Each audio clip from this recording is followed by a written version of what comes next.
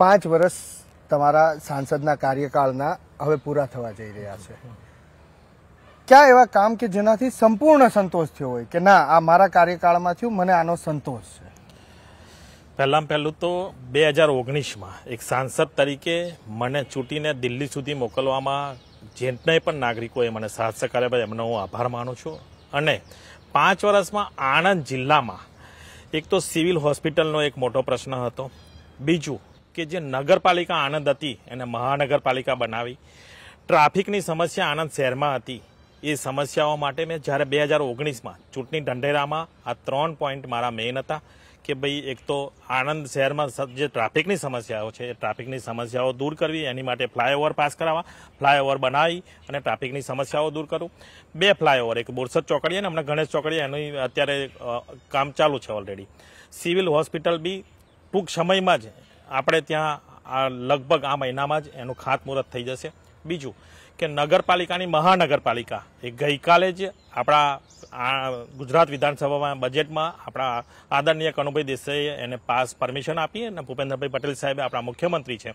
એ એમને અમે લગભગ બેથી ત્રણ વખત મળી અને આની રજૂઆત કરી હતી અને એની માટેનું પોઝિટિવ એમને જવાબ આપ્યો. આ વાતનો તમને સંતોષ છે. જ્યારે સંતોષ હોય ત્યારે અસંતોષની અથવા તો વસવાસની પણ વાત આવે. કોઈ એવું કામ ખરું કે પાંચ વર્ષમાં તમે ધાર્યું હોય કે આ કરવું છે? લોકો માટે આ ઘણું જ જરૂરી છે, પણ ના થઈ શક્યું હોય, એનું કારણ ભલે ગમે તે હોય. એક તો આદરણીય પ્રધાનમંત્રી નરેન્દ્રભાઈ મોદી સાહેબ સ્વચ્છતા અભિયાન માટે ખૂબ ચિંતિત હોય છે. ગામડાઓ સ્વસ્થ બને, એની માટેના મેં પ્રયત્ન કર્યા હતા. એ માટે મેં વીસ વીસ ગામડાઓનું ક્લસ્ટર બનાવી અને ક્લસ્ટરમાં એક એવું મશીન આવે કે જ્યાંથી દરેક ગામડાઓમાંથી ઈ રિક્ષા દ્વારા એ કચરો ઉઠાવીને એ ક્લસ્ટરમાં ગામડાઓનું ક્લસ્ટર હોય ત્યાં સુધી જાય. ગામડાઓ સ્વસ્થ રહે. એ એક અભિયાન મેં ચલાવ્યું હતું. એ અભિયાન મારું પત્યું નથી, એનો મને વસવસો છે. બીજું, બદલપુર બોરસદ તાલુકામાં આવ્યું. ત્યાંથી કારેલી જે છે, ત્યાં આગળ એક વિયર બનાવવાની જે પહેલેથી રજૂઆત છે, ત્યાંના ખેડૂતોની, બોરસદ વિધાનસભામાં રહેતા નાગરિકોની, એ આદરણીય ભૂપેન્દ્રભાઈ પટેલ સાહેબને મળ્યા. આ વખતે પણ મળ્યા. બજેટમાં એને મૂકવા માટેના પ્રસ્તાવ પણ મેં અને આપણા અમારા જિલ્લા પ્રમુખ આદરણીય રમણભાઈ સોલંકી, જે ધારાસભ્ય છે, ત્રણેય ભેગા થઈને ગયા હતા અને ભૂપેન્દ્રભાઈ પટેલ સાહેબને કહ્યું છે કે આ થશે તો જે ખારું પાણી આવે છે એ ખારું પાણી આવતું રોકાઈ જશે. એના લીધે ખેડૂતોની જમીન જે બગડી રહી છે, એ બગડશે નહીં અને ખેડૂતોને એમાંથી જે પાક પકવે છે, એ સારી રીતે વધુ ને વધુ પાક પકે. એ રીતની રજૂઆત કરી હતી.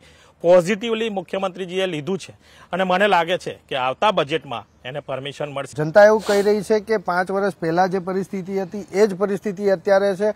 તો મારે એ જાણવું છે અને જનતાને પણ જણાવો અમારા માધ્યમથી કે તમે કહી રહ્યા છો કે કામ થઈ ગયું છે. જનતા કહી રહી છે નથી થયું. કેટલે પહોંચ્યું છે? સિવિલ હોસ્પિટલ માટેની જગ્યા ફળવાઈ ગઈ છે. પહેલા તો શું હતું કે ભાઈ પાંચ વર્ષ પહેલા એવું હતું કે જગ્યા માટેના પ્રોબ્લેમ ચાલતા હતા. ભારતીય જનતા પાર્ટીના જે મીન્સ કે જે આગેવાનો હતા, એ આગેવાનોનું મંતવ્ય એક બનતું નહોતું કે ક્યાં આગળ જગ્યા ફાળવવી. આ વખતે બધા જ આગેવાનોએ ભેગા થઈ એક જગ્યા નક્કી કરી. એ જગ્યા પણ ફળવાઈ ગઈ છે અને એની પરમિશન પણ મળી ગઈ છે. એને એલોકેટ પણ થઈ ગઈ છે. એનું ટેન્ડર પણ એલોટ થઈ ગયેલું છે. અને ગઈકાલ સુધીના જો સમાચાર હશે, તો સુરતની એક કન્સ્ટ્રક્શન કંપની છે.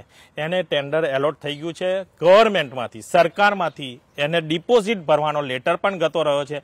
એ ડિપોઝિટ ભરશે એટલે ટૂંક સમયમાં જ આદરણીય મુખ્યમંત્રી ભૂપેન્દ્રભાઈ પટેલ સાહેબ, આપણા પ્રભારી મંત્રી ઋષિકેશભાઈ પટેલ સાહેબ, હેલ્થ મિનિસ્ટરના હાથે અમે ખાતમુહૂર્ત કરાવવા એનું જઈ રહ્યા એસટી બસ સ્ટેન્ડનો ડેપો હોય કે રેલવે સ્ટેશન હોય જર્જરિત હાલતમાં છે. એ વિશે પાંચ વર્ષમાં મિતેશભાઈએ કોઈ કામ નથી કર્યું. જો કર્યું છે તો તમારા પ્રયાસો શું રહ્યા?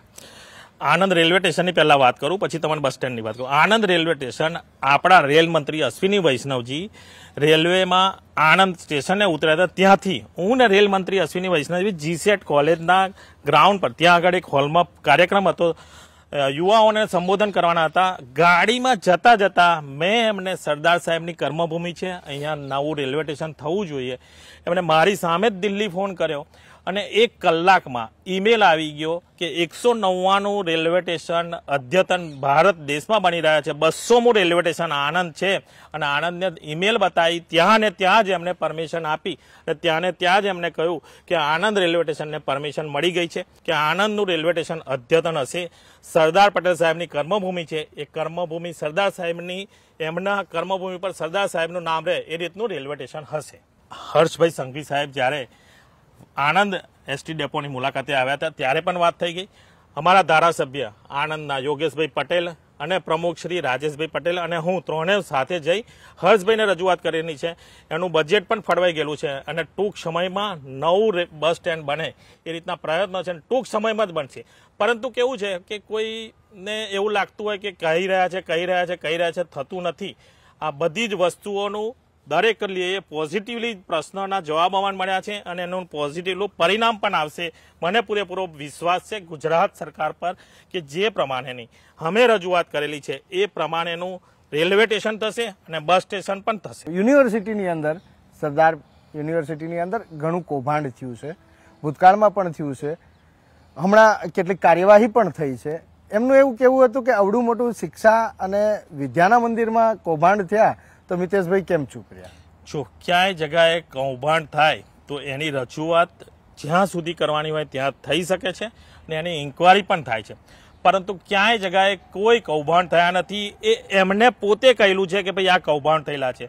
બીજા સિન્ડિકેટ મેમ્બર ઘણા બધા હોય છે. બંને પાર્ટીના સિન્ડિકેટ મેમ્બર હોય છે. એ એમનો પર્સનલ ઇસ્યુ હોય છે કે એમને અમુક જગાએ એમની કોલેજ હતી, ત્યાં પરમિશન નહીં મળવાથી ક્યાંક ને ક્યાંક એમને લુફોલ્ટ હશે, એના લીધે એ ડાયરેક્ટ આરોપ કરી શકે છે. કોઈ પણ વાઇસ ચાન્સલર આવે. આગળના કુલકર્ણીજી હતા, એમની પર આરોપ કરતા હતા.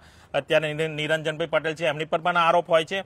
એટલે એમને, એમનું પર્સનલી લઈ અને આરોપ કરવાની એમની જે પદ્ધતિ છે, એ પદ્ધતિમાંથી હજુ પણ એ બહાર નીકળતા નથી. વિદ્યાનગર એટલે વિદ્યાનું એક ધામ, લગભગ ચરોતર વિદ્યામંડળની બાવન કોલેજો છે. સરદાર પટેલ યુનિવર્સિટીમાં ત્રણ જિલ્લાની કોલેજો આવેલી છે અને ખૂબ મોટી યુનિવર્સિટી છે અને ખૂબ સારી રીતે ચાલી રહી છે. અને વિદ્યાર્થીઓ અહીંથી અભ્યાસ કરી પરદેશ અને જ્યાં પણ જાય છે ત્યાં આનંદનું નામ સરદાર પટેલ યુનિવર્સિટીનું નામ રોશન કરે છે. તમારા વિશે એવી પણ વાત છે કે આ સાંસદ સુધી વાત તો પહોંચે છે. તો એ કેવી રીતે વાત પહોંચે છે? અથવા તો તમે લોકોની વચ્ચે આ પાંચ વર્ષમાં કેવી રીતે રહ્યા અથવા તો રહેવાનો પ્રયાસ કર્યો? એક તો પહેલાં પહેલું સાંસદ તરીકે ચૂંટાયા પછી કોવિડ જ્યારે બે હજાર ઓગણીસ વીસમાં આવ્યો, ત્યારે મારી પૂરી ટીમના ફોન નંબર સોશિયલ મીડિયા પર મૂક્યા. અડધી રાતે પણ કામ હોય તો મને ફોન કરજો. એમાં પહેલો નંબર સાંસદનો હતો, પોતાનો પર્સનલ, કે ભાઈ આ સાંસદનો નંબર છે અને મારી ટીમમાંથી ત્રણ જણ જે દિવસ રાત મહેનત કરતા હોય, એમના નંબર મૂક્યા હતા. એટલે જેટલા પણ કોવિડમાં પેશન્ટ હતા એમને જ્યારે પણ જરૂરિયાત પડી છે મારી ટીમે એમને પૂરેપૂરી મદદ કરી છે. માતરની અંદરથી લેન્ડ જેહાદ બહાર આવ્યું હતું. કે જે ખેડૂત નતા એવા પણ કેટલાક લોકો ખેડૂત અને એની પાછળનો ઈરાદો બહુ ગંદો અથવા તો ખરાબ હતો એવો કહી શકાય. જે તે ટાઈમે મહેસૂલ મંત્રીએ પ્રેસ કરી હતી અને એની અંદર પણ આ વાત કરી હતી. આનું સોલ્યુશન કંઈ લાયા કે જે ખેડૂત જ નથી એ હટી જાય જમીન જેની છે એને મળે અથવા તો એ જમીન સરકારને મળે? મારા ડિસ્ટ્રિક્ટની વાત કરું, તો આવા જેટલા પણ પ્રશ્નો આવ્યા છે લેન્ડ ગ્રેબિંગમાં પણ જેટલા પણ પ્રશ્નો ચાલતા હશે કલેક્ટરશ્રી સાથે. મારી ઓફિસમાં કોઈ નાગરિક આયોગ મારો આ પ્રશ્ન છે, અને લેન્ડને લગતો છે, તો કલેક્ટરશ્રી હોય ડેપ્યુટી કલેક્ટરશ્રી હોય, જમીન શાખા હોય, ત્યાં સુધી મારી ઓફિસમાંથી હું પણ જાતે ફોન કરું છું, અને ન્યાય અપાવવાનો, જેની જમીન છે, એને પૂરેપૂરા પ્રયત્ન કર્યા છે. મિતેશભાઈની ફરી ચૂંટણી લડવાની તૈયારી કેટલી, અને મિતેશભાઈને ભારતીય જનતા પાર્ટીનું શીર્ષ નેતૃત્વ ફરી એક વખત આ માટેની તક આપે એના ચાન્સીસ કેટલા? એક સામાન્ય કાર્યકર્તા તરીકે મને જે ટિકિટ આપી હતી, નેતૃત્વનો હજુ પણ હું આભાર માનું છું. અને જે રીતની કામ પદ્ધતિથી મેં જે કામ કર્યા છે, મને પૂરેપૂરો વિશ્વાસ છે કે આવતી બે હજારની ચોવીસમાં પણ મને ટિકિટ મળે. અને જો નહીં મળે, તો પણ પૂરા વિશ્વાસથી એક કાર્યકર્તા તરીકે ભારતીય જનતા પાર્ટીના જે કંઈ ઉમેદવાર આવશે, એને પાંચ લાખથી વધુ વોટોથી જીતાડવા મારી મહેનત રહેશે.